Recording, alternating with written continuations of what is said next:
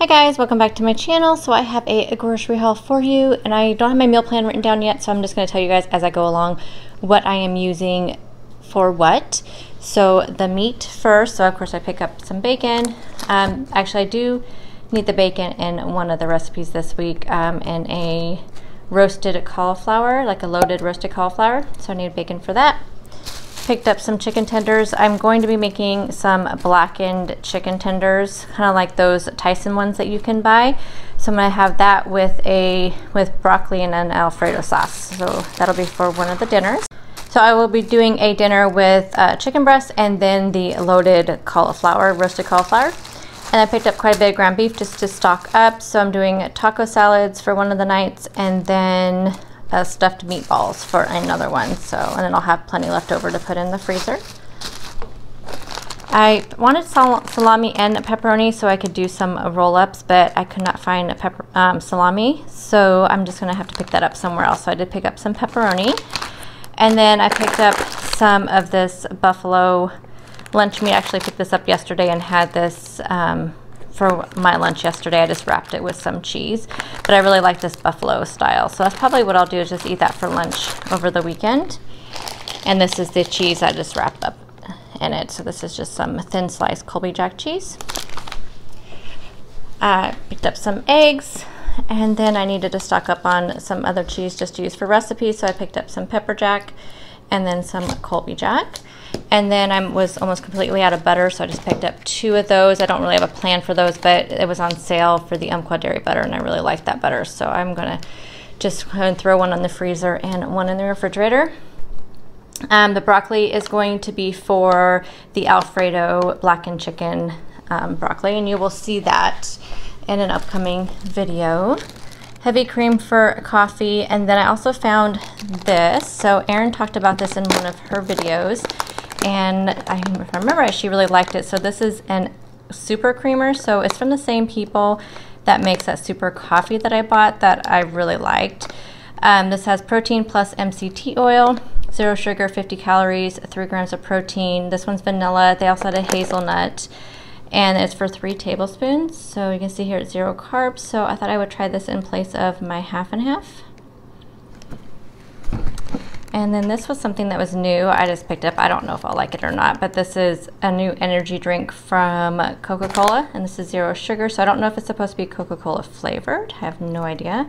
They actually had regular, what that was regular um, that wasn't zero sugar. So they had regular energy drinks, and then they had a cherry one, but I didn't see a zero sugar in the cherry at all. So I, this peanut butter I've seen, um, and one of my like grocery stores said it was like $8.99 for this size. Um, so I did find it at my local grocery store. This is the Santa Cruz Organic, and it is only two net carbs for uh, two tablespoons. So it's like that one from Walmart that my store does not carry.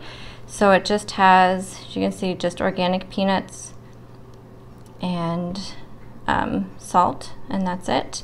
So two net carbs, and this is the creamy dark roasted peanut butter one. And I picked up some Olive Garden Italian dressing. This is two carbs, but I've just been really wanting this. It's a really good salad dressing.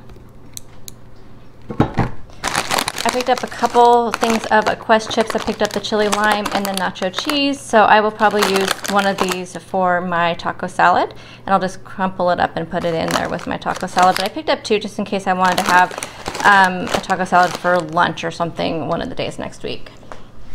I really liked the cherry cola Zevia that I picked up. So I picked up the grapefruit citrus. I thought that might be kind of like um, like a squirt or something like that. So hopefully that is good. And I told you guys I was trying to up my protein without upping my fat. And so I did pick up some of these Premier Proteins. They are three net carbs, but I used to drink these all the time in my coffee. So I thought that would be something I could have maybe in the mornings. I just picked up a small one. I was going to go to Costco and they have the big ones right now for $19.99. But just in case I don't like them as much as I used to because my tastes have kind of changed a little bit.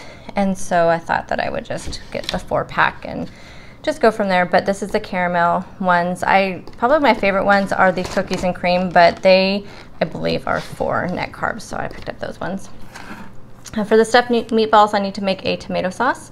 So I picked up some petite, petite diced tomatoes and some tomato sauce. So that will go with the stuffed meatballs.